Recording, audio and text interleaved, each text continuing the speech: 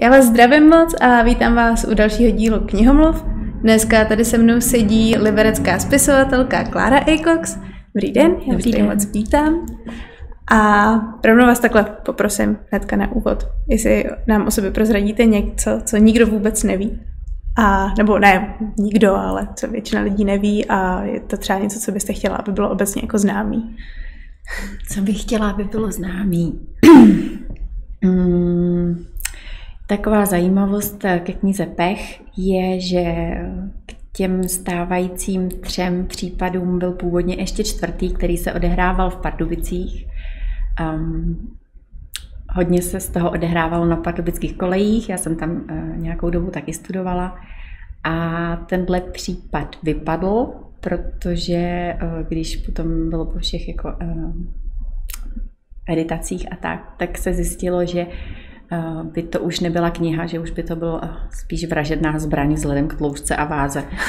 Takže jsou tam jenom tři. A ten čtvrtý příběh někde čeká? Třeba v šuplíku? Ten je jenom můj. No máš. A nikdo ho už, už nikdy neuvidí? Tam už, tam už vlastně se nedá navázat vzhledem k tomu konci, tak, eh, tak ten je jenom můj. Dobře, dobře, dobře. Jo, já jsem teda zapomněla říct, že jste autorkou knihy Pech, což je důležitá informace, takže autorka knihy Pech, jenom pro jistotu. No a zeptám se vás, když sedíme v knihovně takhle, chodíte k nám do knihovny nebo chodíte obecně do knihovny někam? Eh, já se teda musím přiznat, že teď nechodím, ale když jsem tady studovala, tak jsem tady byla pečená, vařená. Tak to mi hodně pomohlo. A jinak eh, naše rodina vždycky do knihovny chodila, maminka chodí, maminka vždycky chodila a vlastně díky tomu jsem v dětství získala lásku ke knihám. My jsme doma moc knihy jako takových jako nevlastnili a půjčovali jsme si pořád. Jsme chodili pravidelně a to k tomu tak nějak zůstalo, až teda teď už spíš uh, kupuju a vyměňuju a tak máme tak mezi kamarády a v rodině takový kanál. Jo, to je taky dobrý, ale možná by stálo za to se k nám zase někdy podívat. Já se zase vrátím. Vraťte, my budeme jedině rádi. hm. Já se vás zeptám, Uh, jak byste popsala pech uh, čtenáři, který ještě vůbec jako neviděl tu knížku, který o ní vůbec nic neví a kdybyste tu knížku měla úplně jako poprvé představovat, co byste o ní řekla? Mm-hmm. No, to mi moc nejde. Pech měla být původně detektivka, nebo Pech je jméno hlavního hrdiny, Olivera Pecha. A já jsem začala s tím, že budu psát detektivku pro svoje syny, protože jsem se tak jako doma nudila. Um, já jsem byla jako v nucený izolaci, čemuž asi dneska už rozumí většina světa. Tenkrát to ještě bylo poměrně uh, zvláštní, hlavně pro nás uh, s nejmladší dcerou, která byla vážně nemocná, pak jsme vlastně nesměli nikam uh, mezi lidi nebo do kolektivu kvůli snížené imunitě a tak jsem se tak jako doma nudila, už jsem slédla všechny ty seriály, co bylo jako možný vidět a už jsem jako neměla jako co tak jsem si začala sama pro sebe psát a tak hrozně mě to chytlo a říkala jsem si, že to teda dám přečíst svým synům nejstarším. A když jsem to dopsala, tak jsem zjistila, že ani jeden jako to číst nechce, tak jsem to poslala dál do světa. A takhle to, jako, takhle to dopadlo dobře. Náhodně. No a je to vlastně tak, že měla to být detektivka a pak se nám to jako trošku se mi to zvrtlo, protože já jsem především nevěděla, že detektivka jako žánr má nějaká jako přesně daná pravidla. A vlastně si mi skoro všechny porušila. Takže teď jako asi nesmím říkat, že to je detektivka. Takže je to jako příběh Olivera Pecha s detektivní zápletkou, přičemž je to literatura oddechová, která vás doufám nenechá vydechnout. To je moc hezký. Oddechová, která nenechá vydechnout. Uh, no, a když jsou ty pravidla detektivek, víte třeba nějaký, který jste porušila, jako co vám říkali, který to byly? To mě uh, docela zajímalo. Jo. Nesmí se objevovat dvojčata, musí se vrah objevit někde hnedka na začátku, jako se myhnout, což vím, že se mi tam jako určitě nepodařilo minimálně v té třetí. A um, no a asi by měl být vypátraný, což se mi taky nepodařilo hnedka v té první. jako Jo, tak to jako asi je zásada, zásada číslo jedna. Hmm.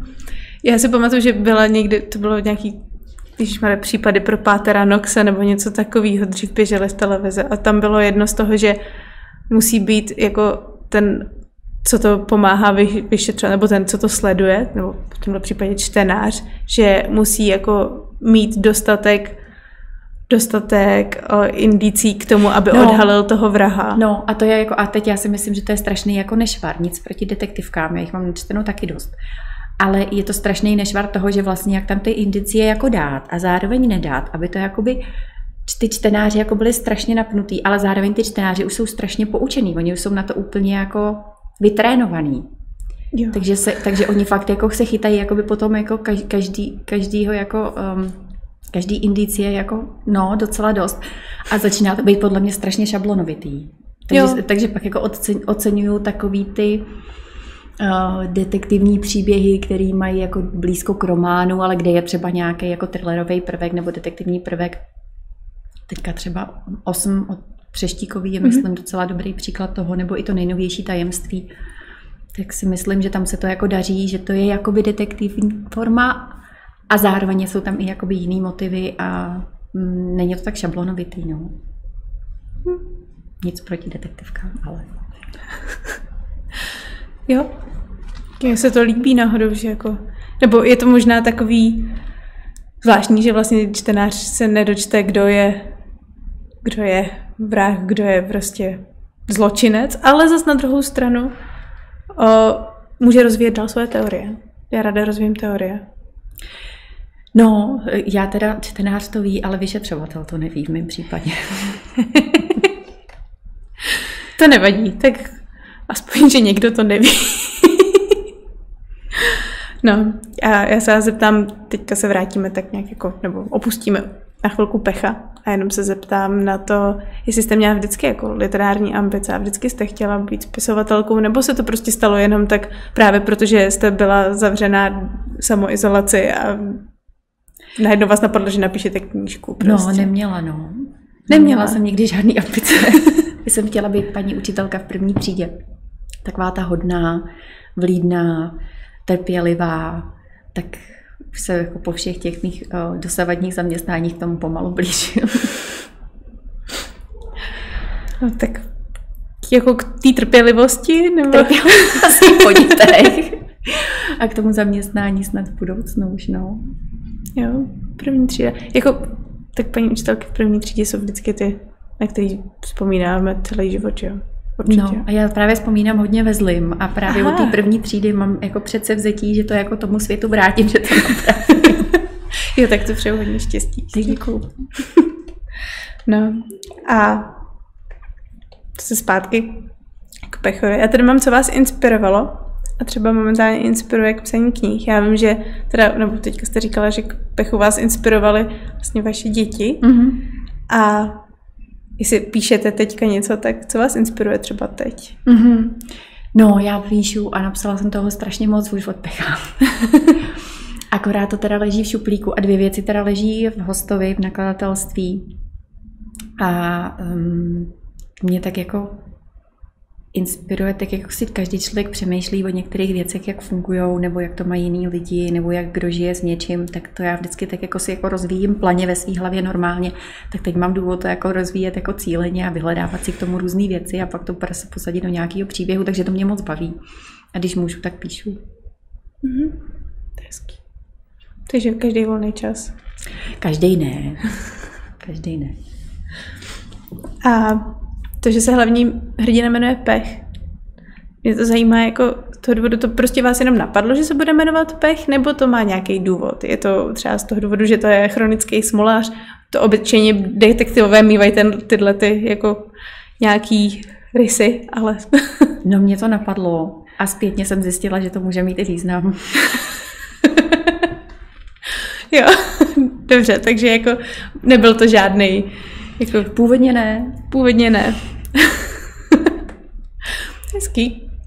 No a když píšete teda, tak máte nějaký rituál u toho, jakože si zapálíte vonou svíčku a přemýšlíte nad tím, nebo prostě jenom jdete třeba volně po městě a najednou vás napadají myšlenky, napadá vás Co by tam mohlo být napsané a napadají, napadají vás věty? Jak jakoby píšete, jak vzniká vaše? Jo, věty teda vymýšlím až přímo, když tam sedím s prstama nad klávesnicí. Když je nejhůř, tak s tuškou v ruce, to, ty myšlenky plynou ještě trošku jinak. Ale um, rituál nemám. Já se vlastně snažím uniknout těm dětem a vzhledem k tomu, že mám počítač v obejváku strategicky uspůsobený tak, abych viděla jako nejvyšší možný záběr našeho bytu, abych pořád věděla, co se děje a děti věděly, že tam jsem, takže jako se snažím uniknout jako jim a po případě jako využít každou volnou vteřinu. Teda když už jako jsem v tom procesu psaní, když má člověk v hlavě půl věty a pak se něco děje a musí to jít udělat, pak se zase běží k tomu vrátit, aby nezapomněl to jedno krásné slovo, který vymyslel, no, ale rituály nemám. No, působí, že na ně ani nemáte pořádně čas na ty rituály, že jako takový ten klidný proces, kdyby, nebo možná kdyby jako usly děti a to, tak jako třeba, že byste no, psala v noci. To už mi zase nejde. Nejde. Já jako asi ten vzduch potřebuju k tomu nějak, no, jako to napětí, že se pořád něco děje, to tam jako je docela přítomný. Přesně. No, a Jo, tady mám i to, že jste v rozhovoru, to bylo u toho Friče, jak jsme se bavili, takže jste prozradila, že čeká další vaše nějaký toho hostu, co jste mm-hmm. i říkala. No a jak se teda vypadá momentálně, teďka konkrétně v tenhle den dnešní? To se uvidí. Jenom, jenom zatím nevíme. čeká. No, já jsem tam vlastně uh, poslala dvě věci zatím, co jsem si tak jako troufla poslat do fronty a jedno je pokračování pecha, ale mm. s jiným vyšetřovatelem, jako pokračování jednoho případu. Mm-hmm. A druhý je takový jako pokus o román, thriller, není tam vyšetřovatel, je tam zápletka a to se jmenuje Vanessa. A Vanessa bych moc přála, aby to dotáhla někam, ale nevím. Pořád jí budu držet palce. Nepřišlo vám zatím, že jste třeba porušila nějaký pravidla thrilleru nebo něco takového? Zatím ne. tak uvidíme. Třeba dodáte nový rozměr thrilleru. Ale Vanessa budeme teda držet pěsti. To má hezký jméno. Vanessa. Pěkný. To má nějaký skrytý význam, Vanessa, třeba? Nemá. Víš, ho tam dodatečně objevila. hmm. Teďka jsem se ztratila. Jo. No a ještě něco, na co se ve svém spisovatelském životě chystáte? A co bys, o co byste se ráda podělila? Třeba jako, nemusí to být jenom, že teďka jako něco píšete, může to být i třeba, že píšete něco dalšího, ale prostě jen tak obecně spisovatelský život. No, já mám rozepsanou jako další sérii uh, s jednou postavou z Pecha, kterou jsem si tak jako půjčila a zasadila ji jako do trošku jiných kulis. Tam mám rozepsaný dva nebo už teďka vlastně tři díly. To je takový jako obsáhlejší, obsáhlejší věc a já tak jako pořád jako se vracím jakoby k té detektivce a zase od ní vypíhám, takže jako uvidíme. Já vždycky spíš mám jako nápad nebo nějaký pnutí, který mám potřebu někam jako vtlačit do nějakého příběhu, třeba když mě zaujíme, aniž bych něco prozradila uh, nějaký zvláštní životní příběh někoho, koho znám nebo i neznám, nebo se domýšlím, pak si k tomu něco dohledávám, tak mám jako pnutí to zasadit do nějakého příběhu, kde ten jako děj plyne a něco se jako děje.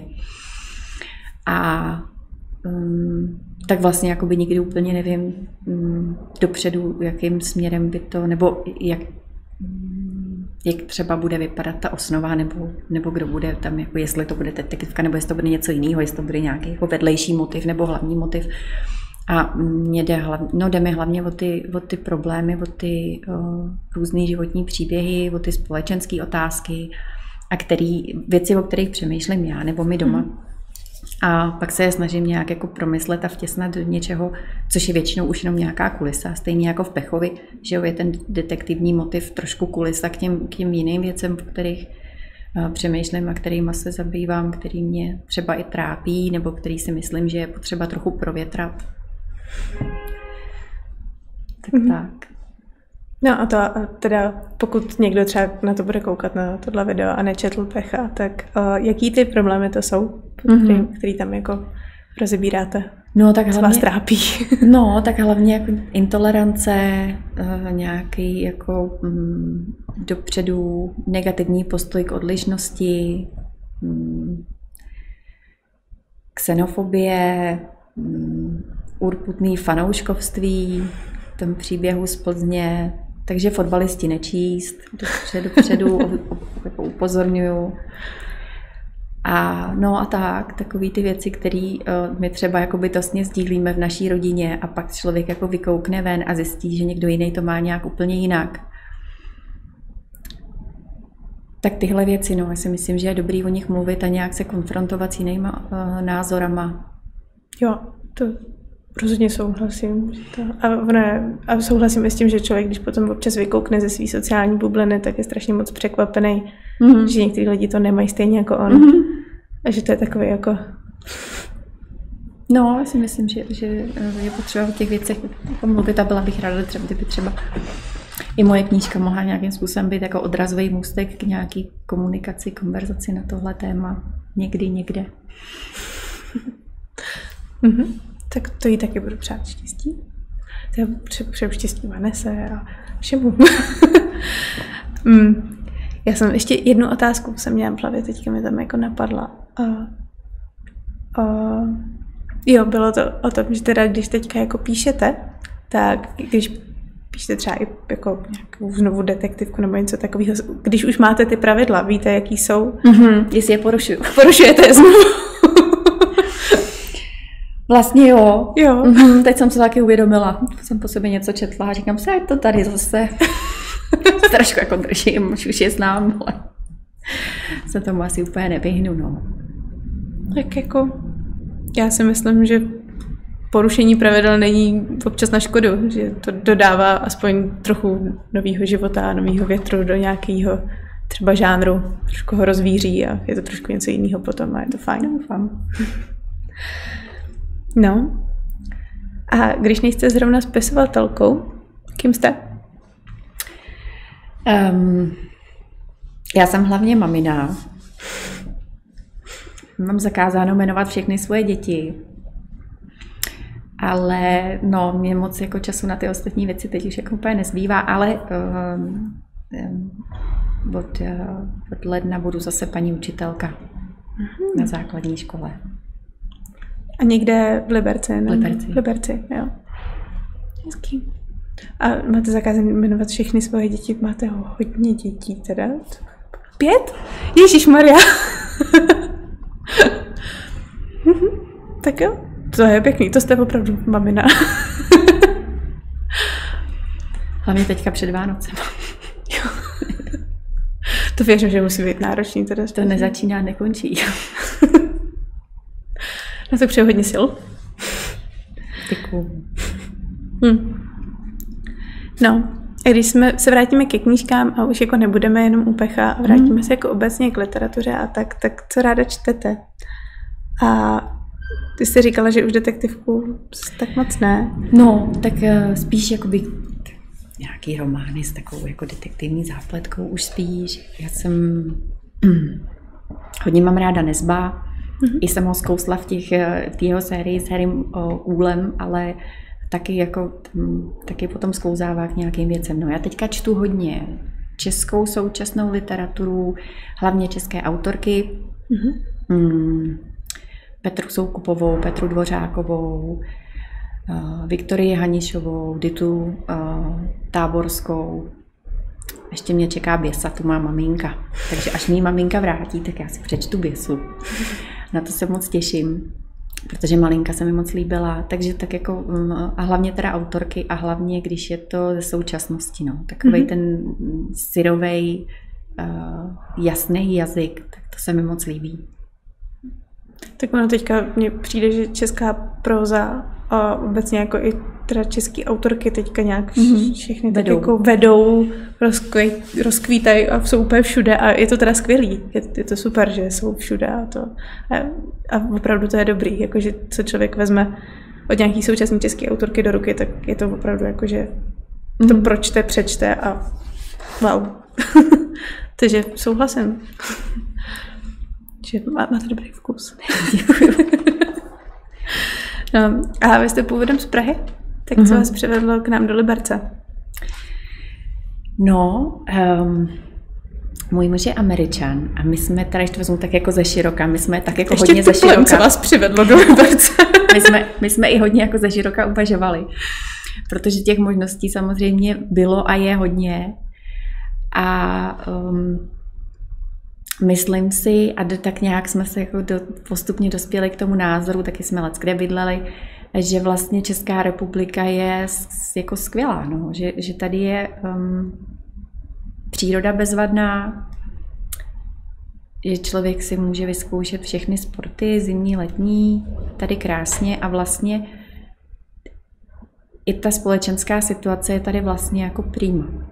Mm-hmm. Že si to jako, myslím si, že si to jako málo uvědomujeme jako Češi, že vlastně tady se jako, jako fakt žije dobře. A nejenom jako, že tady nejsou války nebo tyhle ty věci, ale že vlastně jakoby, uh, ta, ta společnost je v pořádku, no, že tady věci fungují což se o některých státech, o kterých se mluví jako o západních, jako podle mě fakt říct nedá. A konkrétně Liberec, taková schoda náhod.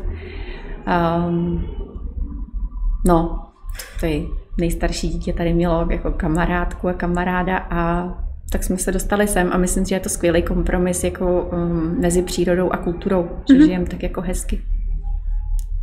Jo, Liberec je super. no, takže to tady máte ráda. Já totiž mám otázku, co na Liberec jako říkáte. Jo, máme, máme to tady rádi. Předpokládám, že to tu máte rádi. Máme. No. Ale jako je to zajímavá cesta, teda jako Amerika, Praha, Liberec. Ale proč ne? My to tady máme hezký. Jsem ráda, že jste si vybrala, vybrali naši libereckou kotlinu pro život. Já jsem právě byla hrozně fascinovaná, když jsme prvé začali, že my jezdíme veřejnou dopravou. A když jsme začali jezdit tramvají a my jsme ještě hodně jezdili Liberec, Jablonec. A uh, právě jako, tak, jak tady jako v Praze nesněží, nebo jako sněží a nezůstane. A když tady jako nasněží a zůstane a ještě člověk jde tou tramvají a projíždí ty lesy, tak jako tím jsem byla naprosto fascinovaná. A říkala jsem si, jak jsem koukala z té tramvaje dolů a říkala jsem si, to by bylo tak krásný sem zasadit prostě nějaký děj, nějaký knihy, no, takže tak, jako to, tak to vzniklo, protože se mi to moc líbilo. Takže vás vlastně inspiroval, nebo inspirovala ke psaní i tramvaj? Tramvaj, rozhodně. Jo, tak ono se to odehrává tak nějak jako... Čestečně, no. jo. Já už jsem dlouho nejela teda tramvají z Liberce do Jablonce, tak se to asi budu muset projet zase. Bych věděla, jaký tam jsou jako zastávky a tak. se furt pohybuji jenom v centru města a měla bych si rozšířit obzory. no, a co právě teďka čtete? Já jsem dneska ráno, já čtu vždycky brzo ráno ve vaně. Mm-hmm. Dneska ráno jsem dočetla uh, Skleněný pokoj od uh, Simona Moera, počený od kolegyně z práce. A e, teď jsem začala číst, e, protože pořád čekám na tu věsu, mm-hmm. která nepřichází e, od maminky, tak jsem začala číst, kde zpívají radci od mm-hmm. Delia Owens. Mm-hmm. Tak to jsem tak asi na desátý stránce, tak to se ještě hodně těším. To je taky plný přírody. Slyšela jsem. Mm-hmm. A má to krásnou obálku. To jste viděla už určitě. Takže... Má krásnou, no. no. A teďka, jako kdybyste měla vybírat ze všech knížek, co jste kdy přečetla, vím, že to je jako strašně náročná a těžká otázka, ale uh, jaká by byla třeba ta, taková to, co byste řekla, že by si měla jako přečíst úplně každý, že prostě to je ta správná. No, to je těžká otázka. Kdybych chtěla být vtipná, tak řeknu, že autoškolu nebo sbírku zákonů. To by bylo vtipný. A kdyby to bylo ve smyslu muži i ženy, tak bych asi řekla, že království od Nesba, mm-hmm. protože si myslím, že tam je to krásně vyvážený um, těma malejma i velkýma otázkama. Čímž myslím jako takový ty psychologické vztahy v rodině, že jsou spíš ženský téma a takový ty větší otázky, jako postavit něco, vybudovat biznis a tyhle ty věci jako mužský a myslím si, že Nezbu je v tomhle jako genius, že to umí vždycky vybalancovat, nebo skoro vždycky, co jsem tak jako postřehla, že to umí hezky vybalancovat a mám pocit, že tyhle knížky vždycky jako mají strašný úspěch, nebo u mě mají určitě velký úspěch. Tak království třeba, um, Sofín volbu určitě, no, to bylo na dlouho, je jich hodně. Dobrodružství uh, v temných uličkách, řekněme, jako konečný výběr. Dobrodružství v temných uličkách. No. Dobře. Finální slovo. Finální tam je všechno. Dobře, tak jo. Tak to je ode mě všechno.